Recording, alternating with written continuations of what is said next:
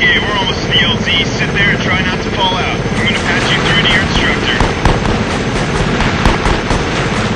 We're coming up on the training course now. You, my friend, are a maniac. You have just made yourself a target to every